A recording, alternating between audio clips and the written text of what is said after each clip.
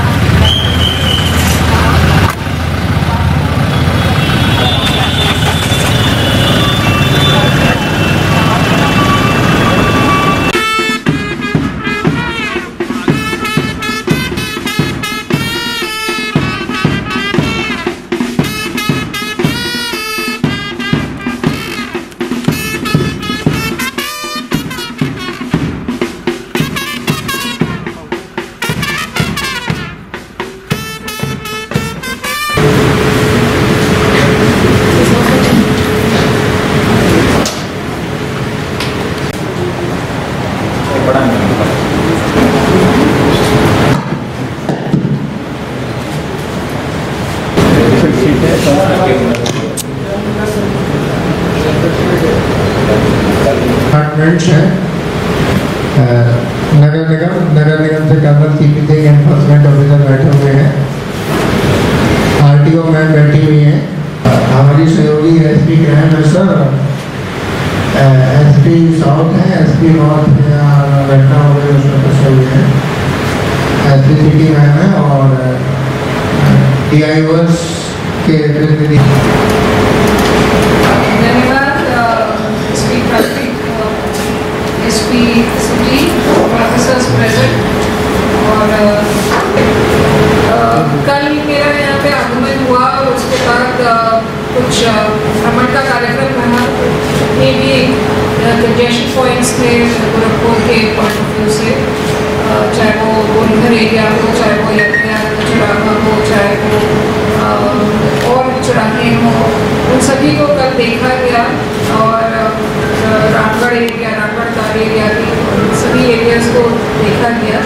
तो जो मुझे समझ में आया कि the the citizens of this place मतलब जो ना- आम नागरिक है यहाँ का, वो काफ़ी हद तक ही डिसिप्लिन दिखाई दे रहा है। और जो एसपी ट्रैफ़िक है, उन्होंने भी बताया कि मैं पहले जो वातावरण था और जो आज की डेट में वातावरण है, उसमें काफ़ी सुधार हुआ है। लोग खुद ब खुद धीरे धीरे लॉ अबाइडिंग होते जा रहे हैं। और जहाँ देख रहे हैं कि ट्रैफ़िक पुलिस इतनी सक्रिय है तो वो भी अब रूल्स को फॉलो करने के काफ़ी सहयोग दे रहे हैं। तो this is a very welcome change और ये इसमें हम सभी की भागीदारी है। जिसके कारण ये बदलाव आया ट्रैफ़िक सेंस ओन करना है या ट्रैफ़िक को ओन करना बहुत ज़रूरी है। Because traffic is not just for traffic police ये एक हम सब की छवि को क्लियर करता है। तो चाहे वो आम नागरिक हो, चाहे वो ट्रैफ़िक पुलिस हो, चाहे वो आर विभाग हो, चाहे वो आई विभाग हो, चाहे वो रोड उसमें आर के द्वारा जो है पुलिस सहयोग लेके किया जाता है। पुलिस आपको हो सकता है सूचना दे और रेड कल मेरा यहाँ पे आगमन हुआ और कल सभी मुख्य चौराहों पर मैंने भ्रमण किया और जितने भी दबाव के, यातायात के दबाव के पॉइंट्स हैं गोरखपुर शहर में, उन सभी को देखा, उनका मुआयना किया। और आज ऑफ़िस में, कार्यालय में बैठकर और इनके जितने भी पत्रावलियाँ हैं और इनके उपकरण हैं ट्रैफ़िक स्टोर्स हैं, इन सब का निरीक्षण किया गया और इनसे चर्चा की गई। और ट्रैफ़िक क्योंकि एक सामंजस्य का डिपार्टमेंट है मतलब मल्टी एजेंसी कोऑर्डिनेशन की इसमें आवश्यकता रहती है। तो आज जो हमारी मीटिंग हुई, बैठक हुई, उसमें विभिन्न विभाग के प्रतिनिधि उपलब्ध थे, जैसे कि गोरखपुर डेवलपमेंट अथॉरिटी के थे और अपने नगर निगम निगम के थे एन एच के थे एन एच ए आई के थे आई टी एम एस के थे और अपने पुलिस विभाग के। तो सभी से चर्चा हुई और एक ये कोऑर्डिनेटेड एफर्ट कंसर्टेड एफर्ट सभी डिपार्टमेंट्स की तरफ़ हम लोग कर रहे हैं कि ट्रैफ़िक में, उत्तर प्रदेश की ट्रैफ़िक में सुधार लाएँ। और चूँकि ये माननीय मुख्यमंत्री जी का की कॉन्स्टिट्यूंसी भी है, गृह जनपद भी है और एक इंपॉर्टेंट ईस्टर्न यूपी का एक ये बहुत ही इंपॉर्टेंट डिस्ट्रिक्ट है तो इस सिलसिले में गोरखपुर बहुत अहम और इंपॉर्टेंट बन जाता है। और जो व्यवस्थाएँ यहाँ पर कायम हैं, मैं कहूँगी काफ़ी हद तक की काफ़ी अच्छी हैं। मैं जन यूपी के और भी जनपदों में भ्रमण कर चुकी हूँ और गोरखपुर में काफ़ी सक्रियता है ट्रैफ़िक के नाम पर।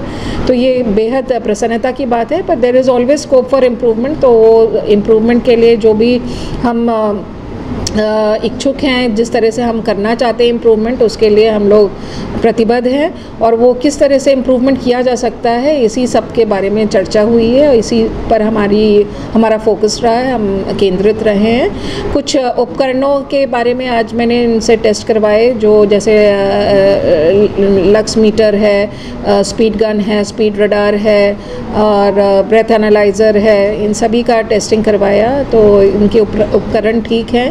और ये विभिन्न एरियाज़ पर पॉइंट्स पर इनको ऑलरेडी इन्होंने डिप्लॉय किया हुआ है, जिनका प्रयोग हो रहा है और ऐसा ही होना चाहिए। N M store is the best store जहाँ पे सारा इक्विपमेंट वितरित हो, वो स्टोर सबसे अच्छा होता है। कुछ इनकी दिक्कतें हैं जिनको हम दूर करने के लिए प्रतिबद्ध हैं तो हम वो करेंगे। और बाकी जो मैन पावर डिप्लॉयमेंट है, उसमें अभी हमको कुछ टीएसआई उपलब्ध हुए हैं तो वो टीएसआई जब हमारी ट्रेनिंग पूरी कर लेंगे तो इनके भी जनपद का हम थोड़ा स्ट्रेंथ ऑगमेंट करेंगे ट्रैफ़िक सब इंस्पेक्टर्स का तो उससे और इनका जो कार्य क्षेत्र है, उसमें कुछ इम्प्रूवमेंट आएगा और इनको एक स्ट्रेंथ मिलेगी जब इनका बल बढ़ेगा। कुछ की ज़रूरतें हैं जो हमको लखनऊ से पूरी करनी होंगी, जैसे विभिन्न विभागों की तो वो चीज़ें मैं विभिन्न विभागों को, जैसे स्मार्ट सिटी का जो डिपार्टमेंट है उनसे या नगर विकास से इनसे कुछ इनकी अपेक्षाएँ हैं तो वो लिख के भेजी गई हैं, पर उनको हम और ट्रांसपोर्ट विभाग से उनको मैं पर्सनली भी परस्यू करना चाहूँगी तो वो करूँगी। और ये बड़ी खुशी की बात है कि आज जो सारे डिपार्टमेंट्स यहाँ दिखाई दिए, उनका काफ़ी एक सहयोगात्मक रवैया दिखाई दिया। और इंक्लूडिंग जो बेसिक शिक्षा सॉरी माध्यमिक शिक्षा विभाग है, उनके भी हमारे पास प्रतिनिधि यहाँ पर थे। और चूँकि शिक्षण पे माननीय मुख्यमंत्री जी का काफ़ी थ्रस्ट है और ज़ोर है तो हम ये कोशिश ये करते हैं और चूँकि ये ट्रैफ़िक माह चल रहा है तो हम कोशिश ये करते हैं कि जितना से जितना हम जागरूकता कर सकें इसके सिलसिले में ट्रैफ़िक के सिलसिले में, जितनी हम ट्रैफ़िक सेंस पैदा कर सकें लोगों में, उतना बेहतर होगा। चालान प्रवर्तन की कार्रवाई तब की जाती है जब आदमी मन बड़ू हो जाता है और लॉ अबाइडिंग नहीं होने के लिए तैयार होता है। पर मैं देख रही हूँ कि गोरखपुर की जनता यहाँ पर और जैसा मुझे बताया गया कि काफ़ी लॉ अबाइडिंग हो रही है। टू लेन्स नहीं बन रही हैं सिंगल लेन में ही हो रहा है। और जो पी एड्रेस सिस्टम है यहाँ का बहुत तगड़ा है तो उस पर अनाउंसमेंट लगातार हो रहा है कि साहब आप स्टॉप लाइन से आगे आ गए हैं, फलाना गाड़ी पीछे जाए, नहीं तो आपका चालान किया जाएगा। तो ये सारी चीज़ें जो हैं, देखी जा रही हैं कि ये मजबूती से आगे बढ़ रही हैं। और अब जो शिक्षण का कार्य है तो माध्यमिक शिक्षा के जो प्रतिनिधि थे, उन्होंने हमें बताया कि यहाँ पर स्कूलों में, कॉलेजों में जितने भी माध्यमिक के स्कूल्स हैं, चाहे वो गवर्नमेंट हों, चाहे गवर्नमेंट एडेड हों प्राइवेट स्कूल्स भी, उन सभी को इन्होंने निर्देश भेजे हैं कि ट्रैफ़िक को एक विषय के रूप में लिया जाए। ट्रैफ़िक का एक कोर्स कंटेंट हो, सिलेबस में हो, और वो बच्चों को उस पर शिक्षण दिया जाए और पढ़ाया जाए। और ये ट्रैफ़िक माह का भी हमारा उद्देश्य रहता है कि जितनी से जितनी से ज़्यादा से ज़्यादा हम जागरूकता पैदा कर सकें, लोगों के बीच में उतनी हम करें।